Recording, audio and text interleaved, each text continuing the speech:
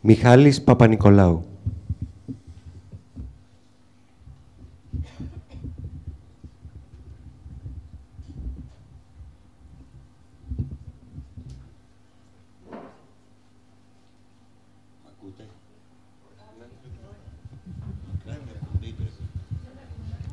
Τώρα, ναι.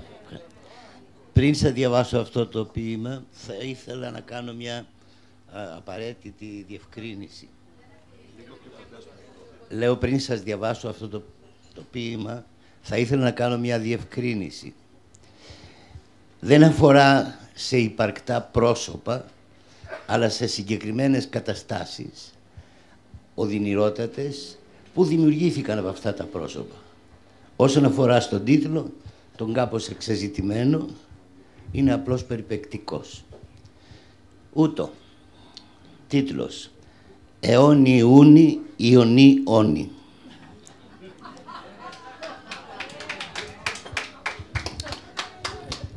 Σε ξέρω καλά, πολύ καλά. Είσαι εκείνος που δεν είπε ποτέ ούτε ένα όχι. Σε ξέρω Είσαι εκείνος που δεν κοιτάζεται ποτέ του στον καθρέφτη. Όταν βεβήλωσαν το τυραννισμένο κομπόδεμα της γιαγιάς, δεν είπες ούτε ένα όχι. Όταν ο εντολέας σου με γονάτισε, ξεσκίζοντας την περηφάνεια μου, δεν είπες ούτε ένα όχι. Όταν βαλσαμώσανε τα σώματά μας, όταν δώσαν στο ληστή κλέβοντας τον αθώο, δεν είπες ούτε ένα όχι.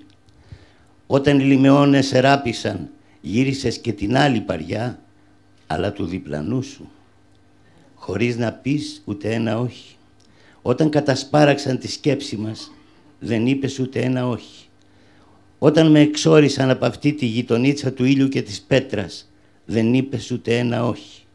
Όταν με πετάξαν στη μοιραία δύναμη των, των νερών, χωρίς οσίβιο, δεν είπες ούτε ένα όχι. Όταν καταβρόχθησαν την ομορφιά των 20 χρόνων, όταν κατα... καταράκωσαν την αξιοπρέπεια της κορίας των γυρατιών, δεν είπες ούτε ένα όχι. Δεν είπες ποτέ ούτε ένα όχι. Μια ζωή προσκυνημένος, νενέκος, εφιάλτης.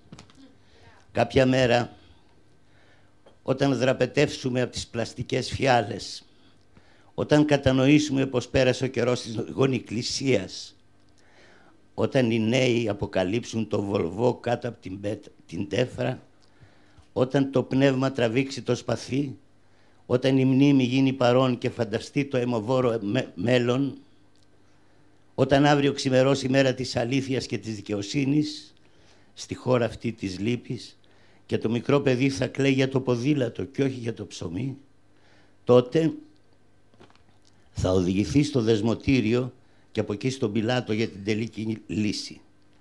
Τότε και εγώ δεν θα πω ούτε ένα όχι.